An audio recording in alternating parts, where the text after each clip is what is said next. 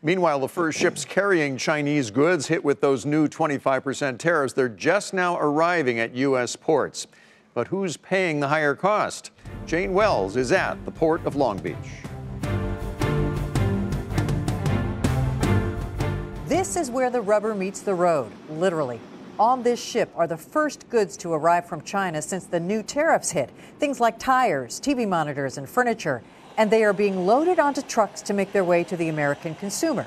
So who's paying the higher cost? Trump came out and said the American importer would only pay 4% of the tariff and the Chinese 21%.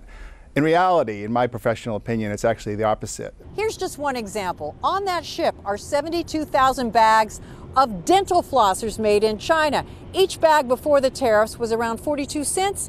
Now it's over 48 cents a bag, and that difference alone is over $4,000. Stephen Ferreira estimates the new cargo from China is costing American companies $15 million per ship, though some of the larger companies are putting pressure on their Chinese manufacturers. The Chinese do not want to lose the business of the Macy's, the Walmarts, the Targets, the Lowe's, the Home Depots. So there's going to be some type of intermediary uh, device that comes in to help the costs between the vendor and the Home Depot. And the fact is, trade continues. Look at this image from Marine Traffic, which shows all the ships on the Pacific today. The green ones are cargo ships.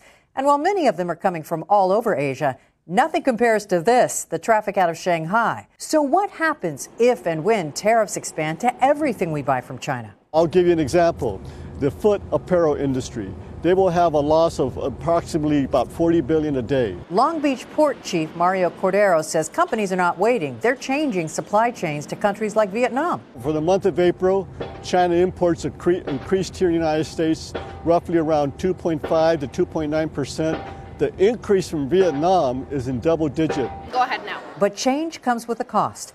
Economists at the Federal Reserve Bank in New York estimate tariffs this year will cost the average American household over $800.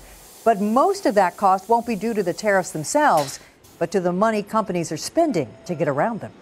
For Nightly Business Report, Jane Wells at the Port of Long Beach.